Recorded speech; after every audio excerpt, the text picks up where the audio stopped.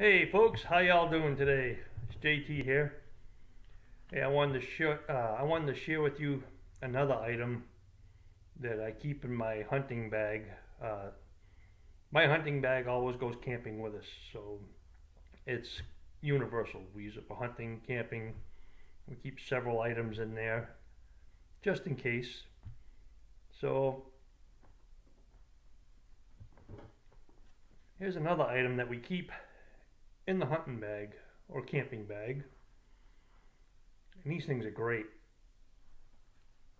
I'll put it up here so you can read it.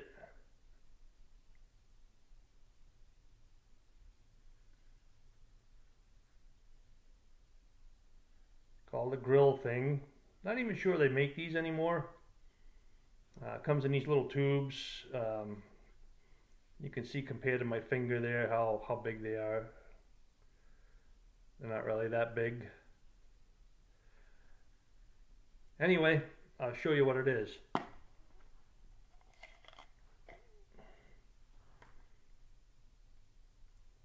You get, go cut yourself a stick, screw the stick on there, you poke these through your hot dog or your marshmallows or brats, whatever you want, and then the spring automatically holds them on, and then you can cook over an open fire. My wife and I have used these and they work great. So we just keep them in that backpack and if the need ever comes to use one, we have them in there. Um, I'll show you this one more time here.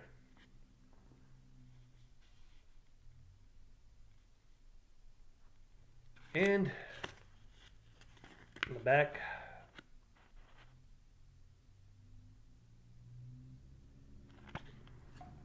So anyway, folks, I just wanted to share that with you.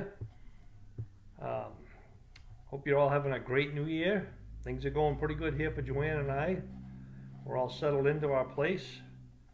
Uh, we're looking forward to being resident tourists and seeing some things. And we have some changes coming up soon, so we'll let you know about those.